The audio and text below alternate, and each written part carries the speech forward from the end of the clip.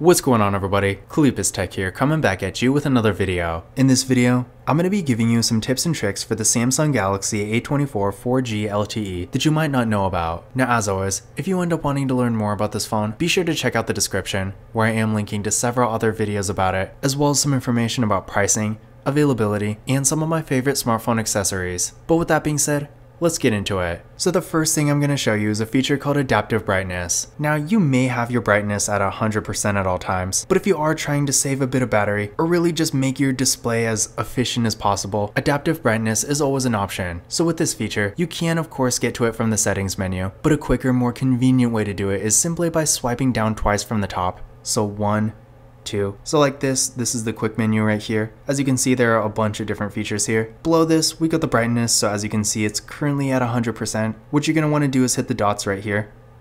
This is gonna take you to like a mini brightness menu, so you can change it. And then what you're gonna wanna do is toggle on adaptive brightness. And as you can see, it adjusted right away. Now I'm going to show you a couple different shortcuts you can use with the power key. So by default, if you double press the power key, it's going to go right to the camera. So definitely a cool shortcut here. And you can do this anywhere on your operating system. So if you're like on an app of some sort, again, double press the power key.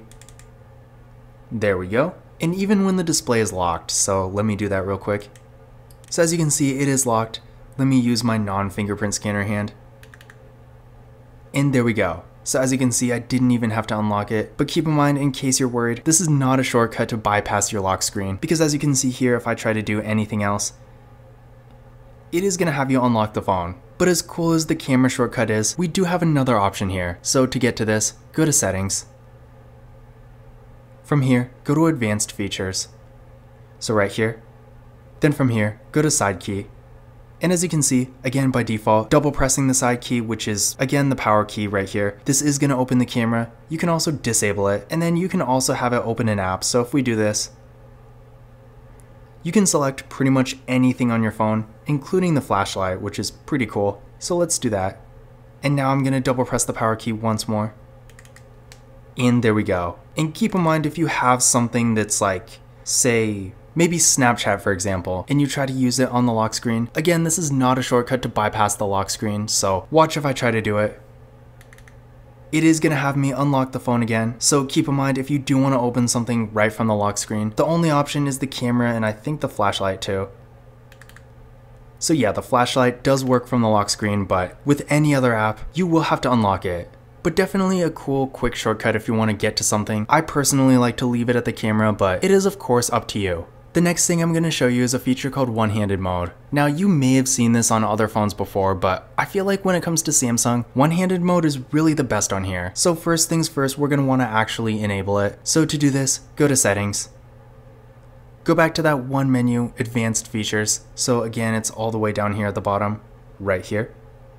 Then from here, go to one-handed mode, or you can just enable it here, but I'm going to show you all the settings for it. So let's go here, so as you can see by default, it is off, but if I turn it on, we got a couple different options here. So first of all, by default, one-handed mode is activated by gesture, and if you're in gesture navigation, then of course this is your only option, but you can also have it activated by a button. So gesture looks like this, just swipe down from right above the home button. In button, as you can see here, is double tapping the home button. Now, you might be worried about accidentally activating it, but in my experience with either of these options, it doesn't really happen too often, so definitely keep that in mind. So let me show you what one-handed mode looks like. So once it's enabled, and you have your method selected, I'm gonna go like this, and we are now in one-handed mode. So now you can use the phone like normal and as you can see it's a lot easier to use with one hand. You can also change the side so if you're left-handed, you can always use it like this. You can also resize it. So if you grab this corner, now it can be a little tricky, but let's see if I can do it. So there we go. Nope, that's the quick menu. Let me try this one more time. So as you can see, it's kind of like outside the corner here, but as you can see, you can resize it. So I'm going to make it a bit larger or a bit smaller. You can also move it a bit up or down, so you're want to grab onto this bar right here. Again, it can be a bit tricky, but let's see. So there we go. And then to get out of it, tap anywhere on the outside. And there we go. So yeah, one-handed mode is definitely a cool feature. And again, I honestly feel like Samsung really does it the best. The next thing I'm going to show you is how to disable your Google feed. Now, in case you don't know what it is, the Google feed is basically this news feed right here. And while some people might find it useful, for me personally, I feel like all I ever do with it is accidentally swipe onto it. So if you're like me and you never use it, let me show you how to disable it. So what you're want to do is press and hold your finger on a blank spot on your home screen. So like this. Then from here, go to settings. And then from here, right here where it says add media page to home screen, by default, as you can see, it is gonna be on. If you go here, you can also change it to Samsung if you're logged into your Samsung account. But if you wanna disable it, simply toggle it off. And now if we go back to the home screen, it's no longer gonna pull up. Now I'm going to show you a feature called Dual Messenger. Now, to be fair, this feature is probably not nearly as useful as it once was, but basically what it's going to do is allow you to make a copy of an app like Snapchat for example, so you can use two accounts at once. And I guess now that I think of it, it is mostly useful for Snapchat because with things like Facebook and Messenger and Instagram and all these other apps, you can easily log into multiple accounts at once anyway. But I guess the process of switching accounts on Facebook Messenger is kinda inconvenient so I can understand it. But essentially for Dual Messenger, all you have to do is go to settings. Then from here, go to advanced features. And then from here, dual messenger is right at the bottom.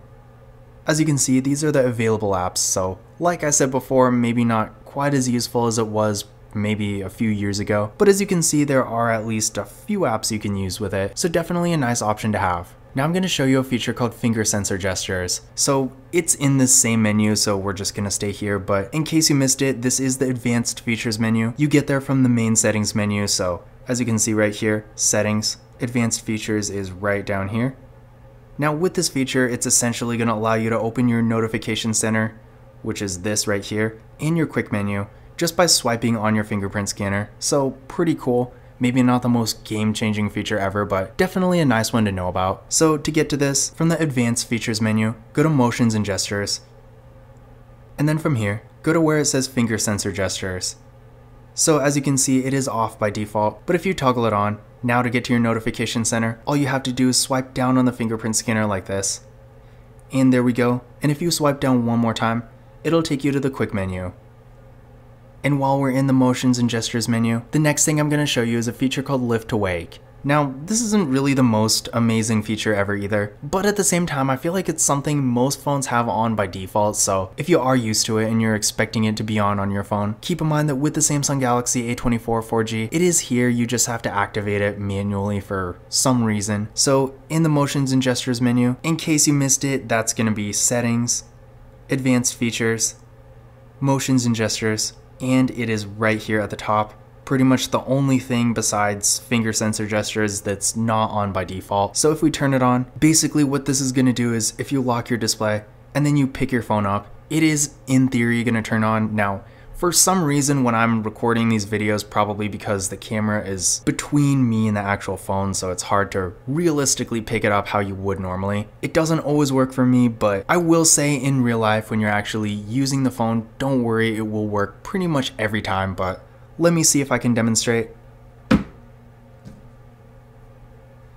So there we go, it actually worked this time. But as you can see, again, it's a pretty simple feature, but definitely a nice one to have. Now I'm going to show you how to change your display refresh rate. Now in case you don't know, with the Samsung Galaxy A24 4G, we are actually getting a 90Hz refresh rate, and this is basically going to make the movement on the screen a bit faster and smoother, making the phone feel a bit more premium to use. And with a 1080p AMOLED display, this is definitely going to give you a real nice premium experience. But some people might not really care that much about the refresh rate. I mean, it's a pretty arbitrary thing, so if you want your phone to feel as premium as possible, then it is a good thing to have on. But if you don't really care about that, it's probably not too noticeable anyway. So if you do want to save battery, you can turn it back to 60 Hz. To do this, go to settings, then from here, go to display, so right here.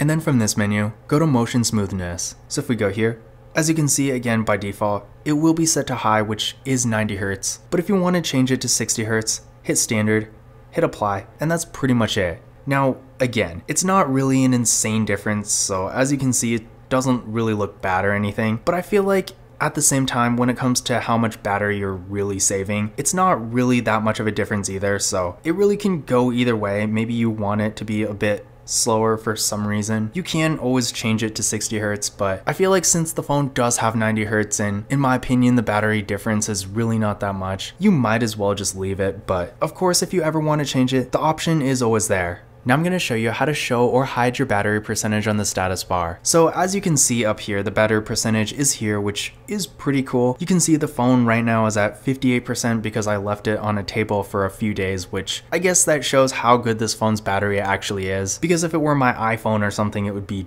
pretty much dead by now. But regardless, I feel like while it can be nice to have this up here at all times, you might want to make this a little bit more minimalistic because after all, the status bar does have quite a few random things on it, especially when you count notifications and stuff like that. So if you do want to get rid of the battery percentage, all you have to do is go to settings. Then from here, go to battery and device care. So it's going to be right here. Then from here, go to battery. Then from this menu, go to more battery settings. And as you can see, by default, again, the battery percentage will be on, but if you want, you can toggle it off. And now it's gonna look a bit more minimalistic. And keep in mind, if you do have it off like this, it is kinda nice because then it's not up here all the time, but at the same time, if you ever wanna see the battery percentage, you can always just swipe down like this and no matter what, it's always going to be here. So if you do like that more minimalistic look here, definitely something to think about. And then finally, the last thing I'm going to show you is a few different multitasking features. So these are pretty cool and I feel like even though a lot of other phones have them, in my opinion, they are a bit nicer on Samsung. So you can do all of these by default, but to make things simpler, I'm gonna go to the settings part first. So what you're gonna wanna do is go to settings. Then from here, go down to advanced features. So right here, and then from here, go to Labs.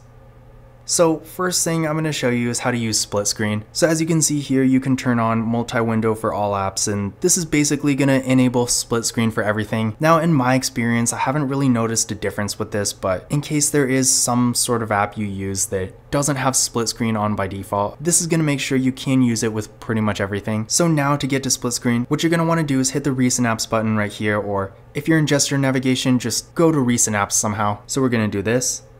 Then from here, press and hold on the actual app itself and drop it either at the top or at the bottom. So for simplicity's sake, I'm just going to do this. Then from here, you can select your other app. So I'm going to do this one right here. So as you can see, we are now in split screen. Pretty straightforward. Also keep in mind, if you want to resize it, make one window larger and the other smaller, grab these dots right here and you can change it. And if you want one to take over, grab the dots one more time and slide it either all the way up or all the way down. So pretty simple. You can also do full screen and split screen view. So if you do this, it's basically gonna turn it into full screen. So essentially this means it's gonna hide the status bar and navigation bar. So let me show you real quick. So if I do this, as you can see, it is enabled and you can't see the status bar or the navigation bar. So pretty cool.